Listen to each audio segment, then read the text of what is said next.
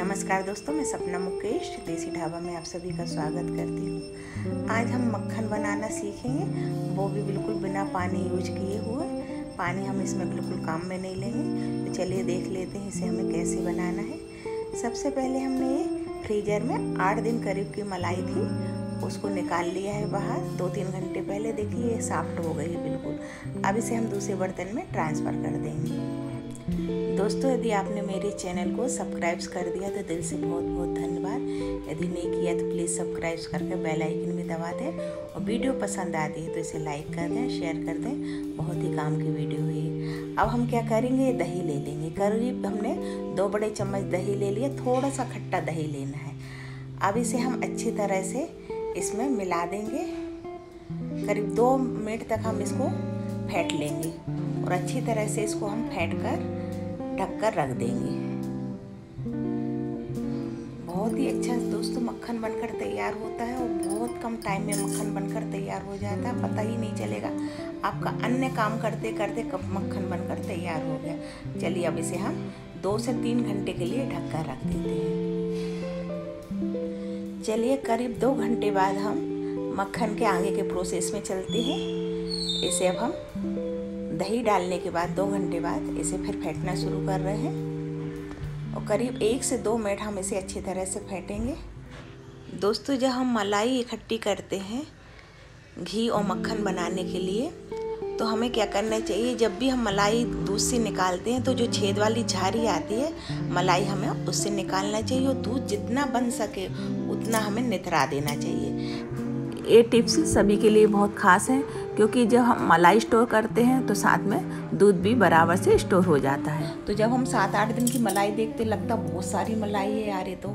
और जब हम मक्खन और घी बनाते हैं तो जब वो मक्खन बनाने की प्रक्रिया में दूध जब सेपरेट होता है, अलग होता है, और बिल्कुल ज़रा सा मक्खन बचता है और फिर घी भी और कम निकलता है। घी के साथ साथ वो मावा भी निकल जाता है तो वो जो मावा निकलता है ना, वो ही दूध जो हमने स्टोर कर रहा है मलाई के साथ, वो मावा वो ही रहता है। क्योंकि दूध से मावा ही बनेगा, घी नहीं बनेगा, मलाई से घी बनेगा। तो बस यही कारण रहता है कि हमारी मलाई तो बहुत सारी स्टोर करी हुई दिखती है। किंतु मक्खन और घी बहुत कम मात्रा में निकलता है। तो इस बात का आप लोग विशेष ध्यान रखें। चलिए अब हम दो मिनट फेंटने के बाद इसमें बर्फ़ मिला लेते हैं कुछ पीस। देखिए, मक्खन बनना शुरू हो गया है, दूध अलग दिख रहा है।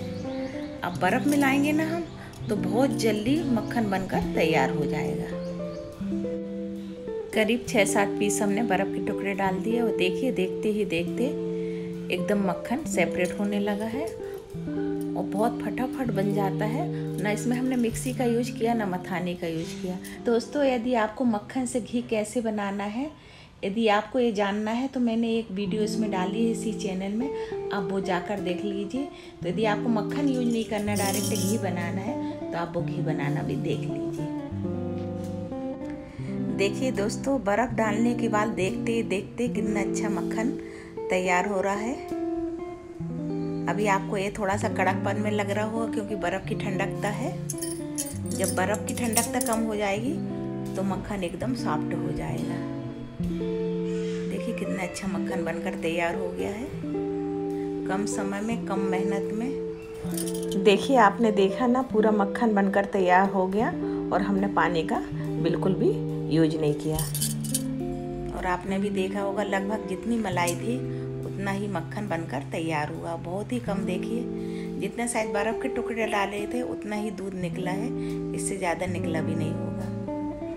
क्योंकि मैं है ना जो मलाई लेती, आपको पहले बता ही दिया है कि मलाई मलाई ही स्टोर करती हूँ, दूध स्टोर नहीं करती हूँ। चलिए अब हम मक्खन अच्छी तरह से बनकर तैयार हो गया है।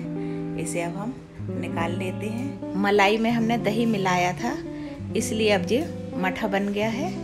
अब इसको हम कढ़ी वगैरह बनाने में काम ले लेंगे, या फिर जैसा भी मर्ज़ी आएगा, वैसे भी पी सकते हैं। जीरा और नमक, काला नमक डाल कर भी पी सकते हैं। आइए, अब हम मक्खन को पानी से अच्छी तरह धो लेते हैं। जिसमें एक्स्ट्रा जितना भी मठा रहेगा, वो भी निकल जाएगा।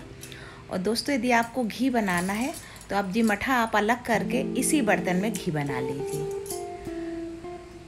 और ये अच्छा मक्खन बनकर तैयार हो गया है। आप इसको पराठे में, पाव भाजी में, रोटी में, जैसी मर्ज़ी आए, वैसा यूज़ करें। और यदि आपको मक्खन यूज़ नहीं करना है तो आप इसका घी बना लें। दोस्तों, एक बढ़िया वीडियो हमने आपको बना कर दी है।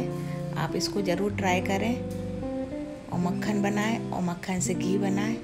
और जो हमने आपको टिप्स बताई हैं, उस टिप्स को ज़रूर फॉलो करें। आपका बढ़िया मक्खन और घी बनकर तैयार होगा।